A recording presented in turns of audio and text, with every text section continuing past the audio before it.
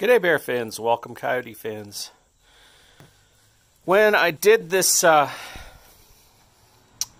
K-member stand for my Coyote swap, and this is the exact same stand I used, I just had to find a way to transport it from Minnesota to Ohio without absorbent fees. Thanks to my brother Art, I was able to do that. Um, when I did it for the first time, I used C-clamps to hold the K-member in place. I was worried about it popping off the jack stands. And, uh, you know, having a little bit more time to think about it with the Barra swap, I decided to do version 2 with some more intelligent thoughts. Like, um, I want to be able just to roll the K member under the car, bolt it into place. If I don't like it, uh, have a simple way to secure it, and that's what this is. These are just pieces of one inch angle iron under here. If you can see them on top of the, the jack stands to distribute the weight and to allow me to bolt just one bolt in place, this one. Um, and I'm going to use some of this plain old strap steel here. So in the next section you'll probably see it bolted up underneath these guys. Uh, just a couple of bolts here on the inside actually is the one I want to do inside and inside for the support or the you know basically I'm trying to position it so the K member won't roll about. That's the idea. And then um, when you bolt it up into the car you just drop the jack stands and roll the K member stand away and you're good. So that's the plan. Anyways uh, let's just get to it. Okay so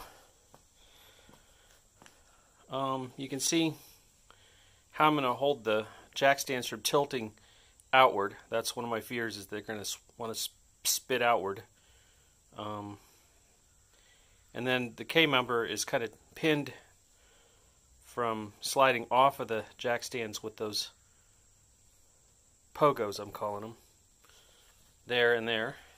Um, then finally, uh, down here, I've just decided I'm just going to use some simple strap iron. Again, similar technique to this, but it's just going to come up and bend over, and you'll be able to just rotate it into off of one of these points. Rotate it in, that'll like hold it somewhat in place. I don't even know if I'm going to need to uh, make it so that they're um, anything but pinned in, you know, temporarily. I don't. In other words, I don't think I need to bolt anything down the K member can just rest on top of whatever that is. And uh, when it's time to pull it up out of the way, then it won't be in the way, so to speak. Um, there we are. Okay, so I got my uh, jack stand stays in place. They're just bent, perforated angle, or uh, flat, as you can see. Um, those are just those bolts holding it in place, they're just about one and a quarter, one and a half inch long. Um, 5 16ths, 18s. Some washers. And there's my stand. The only thing left to do is weld in place these jack stays, these jack stand stays, which are just basically low profile, pardon my thumb being in the way, low profile uh, um, pieces of angle. I'll just weld those in, welded this. And then the idea is just basically keep this in place so that that uh, the jack stands will be oriented the right way. Once you get, you know, 800 pounds of something jamming down on you, your tendency to get squirrely tends to be less, you know.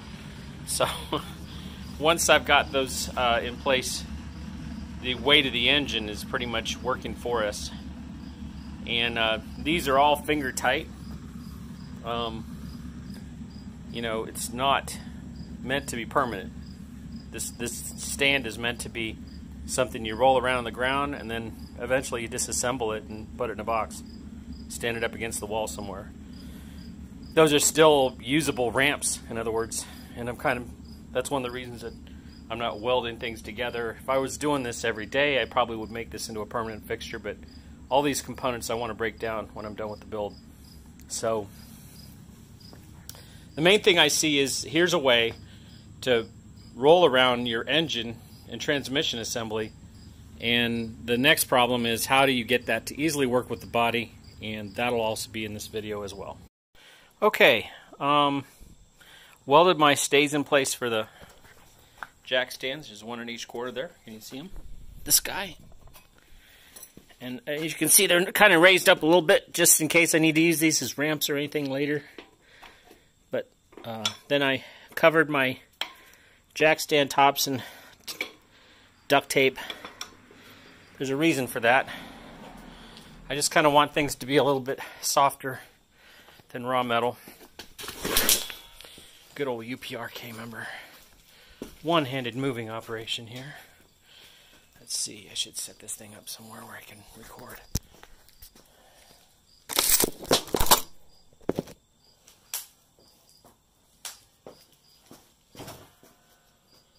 Okay, that's going to have to do. So, the K member sits here, like this. Um,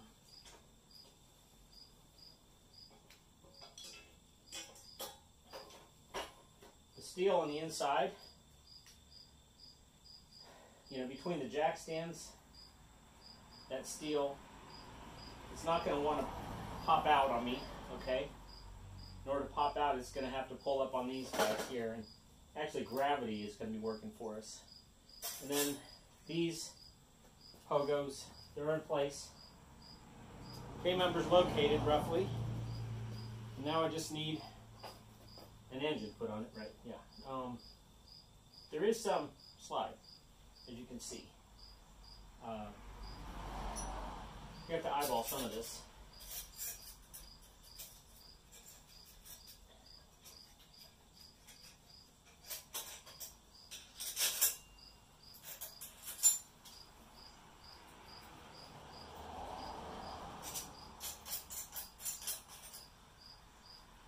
Again, everything's finger tight.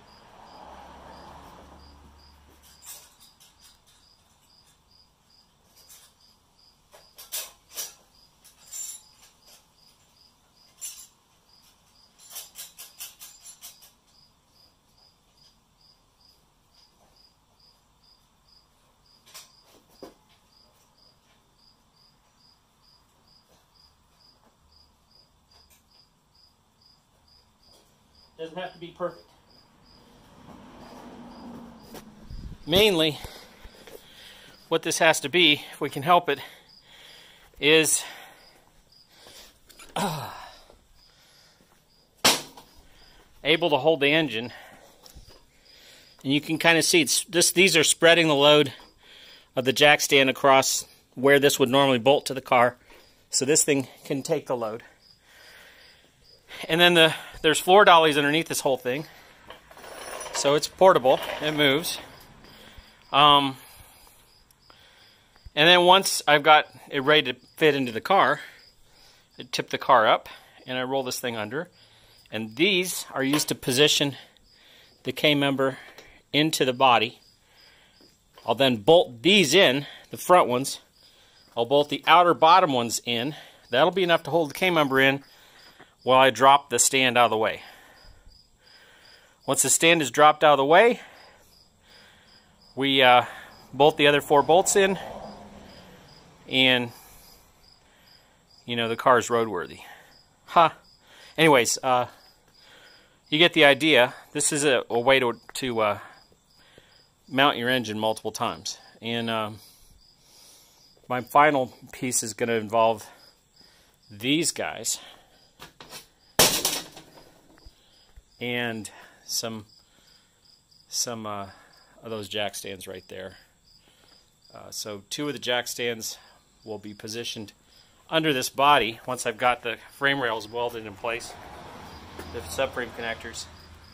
Once they're welded in place, and I'm talking about these guys here, let me pull one of them out.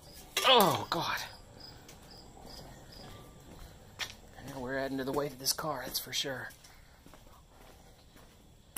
Hang on a second, folks. Mm. All right. What would be nice is if there would be a way to tip this car up so we can work on the front of it up in the air and we can get the engine into it now. Picture this frame rail being under the car and somewhere approximately here on the car the body is balanced. In other words, if I could tip the car right about this point right here, it would tip up and I could, you know, just lift it up by hand. And so the only issue then is trying to keep something from sliding off the jack stands. And so what if we have these guys? He's a little bit of steel here, okay? You can see it. We'll mount these guys in. Uh, this isn't going to be welded on, the steel isn't. It's just going to be uh, bolted to this uh, caster. And then I'll weld some nuts in here and just use some bolts to squeeze. And that'll grip this frame rail with this. And let me tip with this.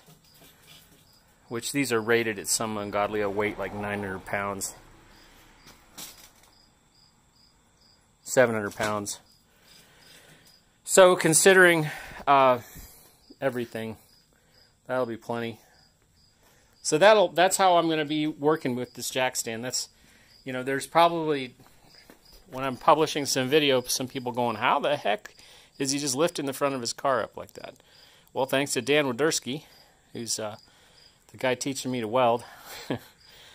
um, and the guy that did the welding on my yellow coyote swap car, uh, I was like, that's a great idea. He's the one who told me, hey, you know, I was lifting the car up and tilting it off the back tires. He's like, you know, if you just put your jack stands in the right spot, the thing will just tip up on its own. I was like, what?